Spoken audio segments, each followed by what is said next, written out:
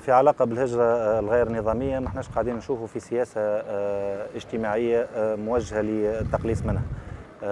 لكن مقاربتنا إحنا كجمعية بالشراكة مع لابال في إطار المحمية البحرية للجزيرات الشمالية لأرخبيل القرقنة نراو أنه الحل للحد من الهجرة الغير نظامية من جزر القرقنة هو بإصلاح ما تبقى من البيئة البحرية القرقنة والإعادتها للإنتاج من جديد. لأنه قد ما البحر نتاع قرقنة قاعد يتردى فإنه ديما البحار مش يولي يسلم في فلوكته للحراق وبالتالي الفلو هذا مش يقعد ديما في في تطور كبير.